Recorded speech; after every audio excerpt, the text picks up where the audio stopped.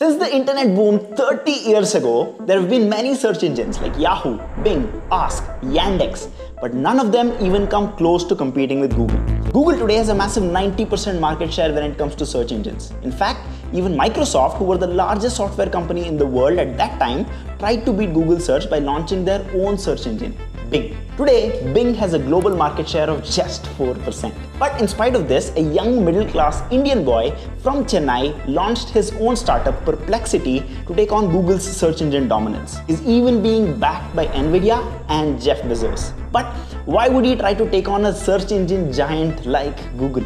On 30th November 2022, OpenAI released ChatGPT to the world. In just 5 days, ChatGPT surpassed 1 million users and they're expected to reach 1 billion users by the end of 2025. Now to put that in perspective, it took Google 13 years to reach 1 billion users. ChatGPT proved to be a better search engine than Google. The answers were instant.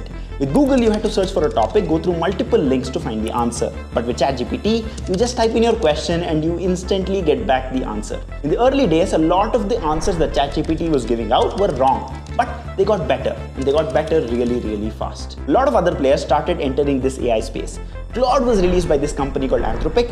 Mistral, a French company, released their own AI model. Meta released Llama. And for the first time in 20 years, Google faced an existential threat. So even Google declared Code Red, stopped everything else that they were doing and released Bard and later the Gemini models. But Google has trillions of dollars to build AI models. Even Meta, which was previously Facebook, has trillions of dollars to build their AI models. OpenAI was founded by Elon Musk, who is one of the richest person in the world, and Sam Altman, who was the president of YC. All these big players had massive funds to build these AI models. How did a middle-class Indian boy from Chennai compete with these trillion-dollar companies? Today, Perplexity is in the top top charts on the iOS App Store. They even have a 6% market share in the AI chatbot space and is one of the fastest growing AI startups in the world. But how did he do it? How did Arvind Srinivas make Perplexity into one of the fastest growing AI startups globally? I'm Varun Kuntur and you're watching Insights by TBH, a series where we deep dive into interesting business insights and strategies just like these. Arvind Srinivas graduated from IIT Madras and immediately after graduation he joined OpenAI as a research intern in 2018. A year later in 2019 he joined the Google DeepMind research team as an intern and then in 2022 went back to OpenAI as a research scientist. When ChatGPT 3 was released, although they hit a million users in less than a week, it came with a big problem, the problem of hallucination. An AI hallucination is a situation where an AI model produces an output that is not factual or it's not correct, but it seems to be very well structured. Back then, if we asked ChatGPT any questions related to current affairs, it was not able to answer them. And the second problem was that whenever ChatGPT gave an answer, there was no mention of the source anywhere in it. So it was almost impossible for us to verify if the answer was correct or just another hallucination. Initially, Arvind started Perplexity to solve these specific issues. With Perplexity, when you ask a question, instead of directly giving you just the answer, you would always get the answer with its sources. Perplexity would only answer what exists on the web already and it clearly tells the user where every part of the answer is coming from with links to those sources. But how was Arvind able to solve this issue while trillion dollar companies like Google and OpenAI couldn't?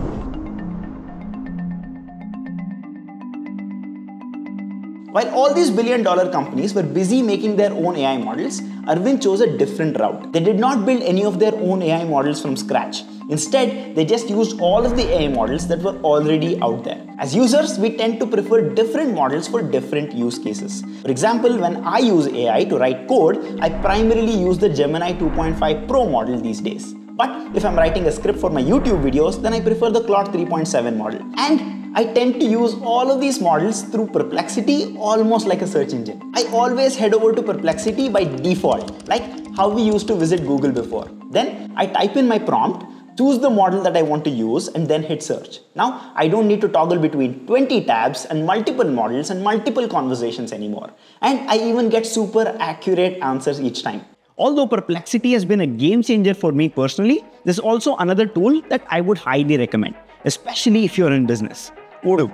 It's an all-in-one business management platform to make running your business very easy. It's really super simple, efficient, and affordable platform that covers all your business needs from scheduling to project management, inventory, and website. You can start with just the apps you need and add more as you grow. Odoo's project management app helps you to keep everything on track. You can set up a project with customized steps milestones, tasks, and even subtasks to break down complex projects into manageable and trackable pieces. It does everything a good project management tool should do without making it complicated. Plus, being integrated with a lot of the other Odoo apps, it automates most of the tedious work. The different new tabs makes it easier to know what's happening, like Kanban view, which shows every task as a card within different stages and all the key info mentioned about right there, or the Gantt chart giving you a bird's eye view on the overall project. You can see who's working on what and the timeline. And then you've got the list view, which is a simple list, but allows you to make batch changes very easily.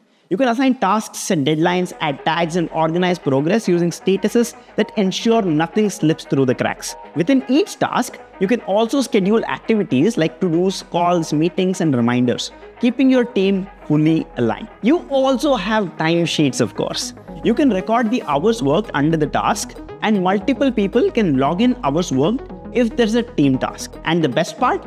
Collaboration is seamless with Odoo. You can tag your colleagues, send emails, attach files, and add notes directly within the task. It also allows multiple team members to work on the same content at the same time, and you can evaluate performance, monitor costs, and budgets all in one place.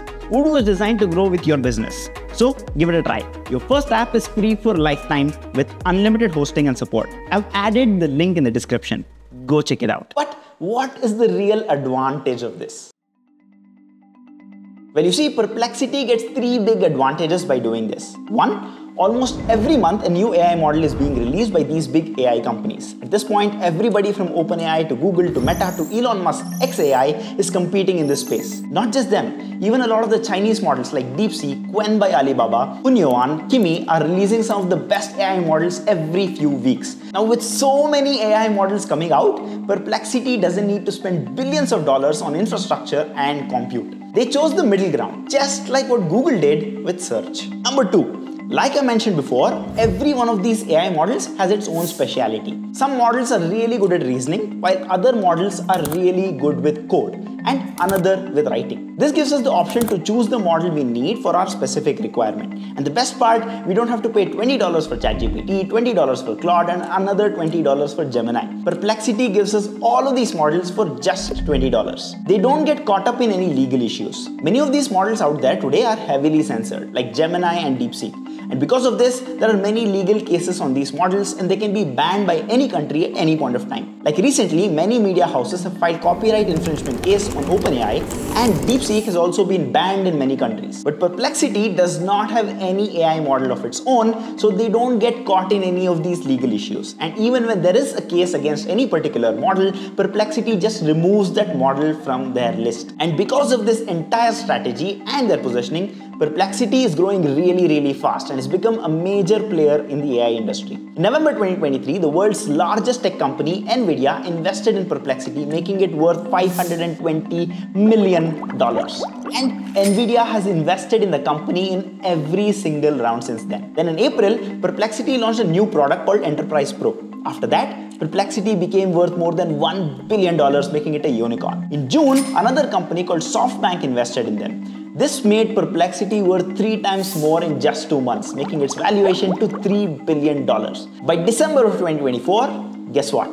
Perplexity was worth $9 billion. That means it grew 17 times bigger in just one year, making them one of the fastest growing AI companies ever. But this raises a question. Why can't the big tech companies like Google and OpenAI just replicate this model? Well, to be honest, they can. And Google did just that when they recently announced Agent Space. But there's still a big difference between what Google is doing versus how Perplexity is doing. While Google is currently targeting enterprise level solutions for now with only AI agents, Perplexity is building for the daily users. And these big giant tech corporations like Google and OpenAI have a reputation that they need to maintain with their models. Perplexity has not put itself in the category of an AI chatbot, but has described itself as an AI search engine, which has nothing to do with the AI models itself. And its only job is to give the best search results. And to do this, they can use any AI models and search engines they need. But can Perplexity really beat Google in search? Well, they might but not anytime soon. You see, one of the big reasons for Google's monopoly in search wasn't just its search engine. Their web browser Chrome has a 68% market share today, and Google comes in as the default search engine in Chrome. And this is also one of the big reasons that OpenAI is also working on its very own browser. But very recently, Yann LeCun said that I am not interested in LLMs anymore. Does this mean that a lot of these LLMs like ChatGPT and Gemini have reached their potential? Well, we're making a detailed video on that topic. So subscribe to the channel so that you don't miss out on that video. Until next time, bye bye.